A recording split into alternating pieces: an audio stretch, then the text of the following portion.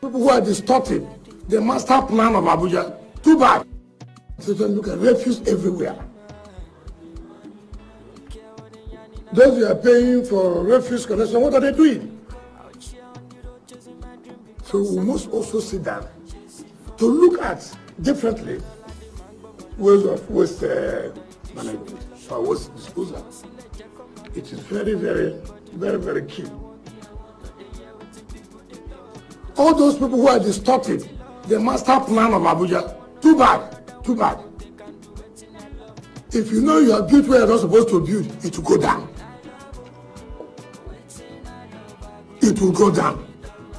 Be a, a minister of anywhere, be an ambassador. If you know you have developed where you're not supposed to develop, your house must go what?